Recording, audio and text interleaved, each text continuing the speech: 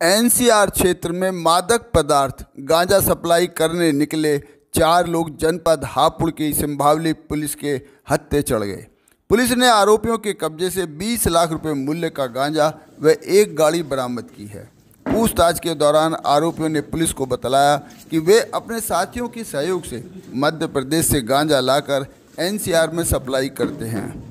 थाना सिंभावली ने अच्छा गुड वर्क किया है। इन्होंने लगभग बीस लाख रुपए का गांजा पकड़ा है जो कि एमपी से एनसीआर में सप्लाई के लिए लाया जा रहा था। इसमें चार लोगों की गिरफ्तारी की गई है और शेष अभियुक्तों की धरपकड़ जारी है और पूरा प्रयास ये रहेगा कि जो भी सप्लाई चेन इनकी है एमपी से लेकर एनसीआर उसको बस्ट किया जाए। पूछताछ में प्रकाश में आया कि ये भोपाल से चले थे। हो सकता है कि और साउथ से ये लोग आ रहे हों गांजा लेके। क्योंकि गाजियाबाद में जो घटनाएँ आई थी प्रकाश में जो हम लोगों ने गांजा वहाँ पकड़ा था वो कुछ गांजा विशाखापट्टनम से आ रहा था और कुछ गांजा उड़ीसा से आ रहा था। तो पूरा हम लोग काम करेंगे इस पर और जहाँ से भी आ रहा होगा वहाँ पे भी सर, पुलिस टीम के लिए कोई इनाम?